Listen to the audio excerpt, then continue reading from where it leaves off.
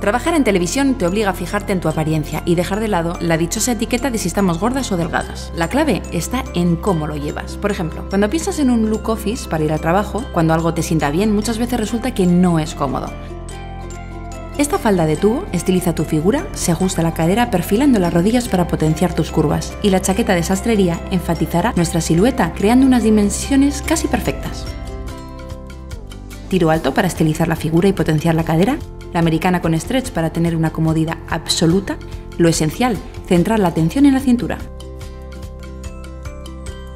En este look, el corte recto compensa la figura. Una chaqueta sin mangas estiliza el cuerpo y el cierre del cinturón en la parte más alta de la cintura acentúa muchísimo mejor tu silueta.